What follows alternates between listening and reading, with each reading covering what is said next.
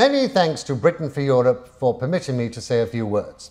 I do hope at the end of this little address I will be able to count on your votes as leader of the Conservative Party. I wanted to explain how closely my own vision aligns with yours. Like you, I believe it is essential that Britain remains at the heart of Europe. But I also appreciate the need to implement the will of the people and ensure a clean break from it. As you all know, I worked tirelessly for the Remain campaign and have always been a true European at heart. It's true I have some reservations about the current nature of the EU project, but I also recognize the many advantages of EU membership. I therefore believe it is essential that we retain the essence of that membership. The customs union, for example, is something that hardly anyone understands, and that many of us passionately believe we should or shouldn't retain or abandon. The EU remains the largest free trade area in the world, if you exclude China, America, and lots of other very big places like that.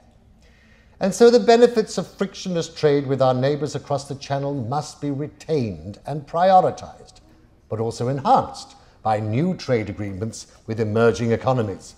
And I'm sure none of them will bear us any ill will from centuries of colonial oppression. Britain has always been a country of immigration, albeit controlled and highly regulated immigration of the right sort. We must retain fully open and compassionate borders which also prevent terrorists, economic migrants, and the French from unfettered access to our NHS. Additionally, our own citizens abroad must continue to enjoy the rights currently given to them by the EU, even if we must impose similar and much needed restrictions on EU citizens living here. In summary, I want an imaginative deal with the EU that in no way ties us to Brussels bureaucracy but offers us the closest possible relationship with Europe. If we cannot be part of the EU, we must be an indivisible partner that is also very separate indeed. Like a close family member that is now living abroad, we retain a fondness for our family, a distance that is healthy, and a desire to meet at least once a year, probably at Christmas.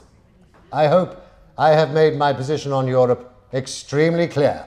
I know I can rely on your support. Thank you.